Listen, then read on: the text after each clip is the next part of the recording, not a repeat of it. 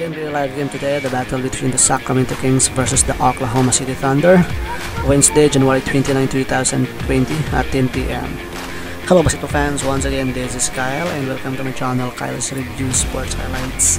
And for today's video, we are going to review the NBA live game today, the battle between the Oklahoma Thunder versus the Sacramento Kings. Right, so the Oklahoma Thunder will travel to the Golden One Center to take on the Sacramento Kings. Oklahoma City had a four-game winning streak, snapped their last time losing to the Dallas Mavericks to 107-97 to drop the record in the season to 28 wins with 20 losses. Alright, on the other hand, the Kings snapped a six-game losing streak but have won their last two games, the most recent an overtime 133 to 129 win over the Minnesota Timberwolves. Okay, so the Kings trailed uh, by 17 points with just over 3 minutes left and stormed back to improve the record in the season to 17 wins and 29 losses of the year.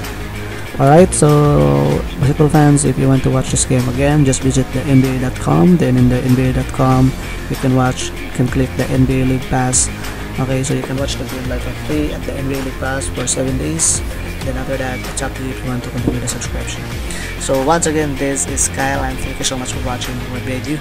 Okay, if you really like this kind of content like NBA update, NBA schedule, NBA live review, just uh, support my channel by liking this video. Subscribe to my channel alright? So thank you so much for watching basketball time so once again this is Kyle and bye. God bless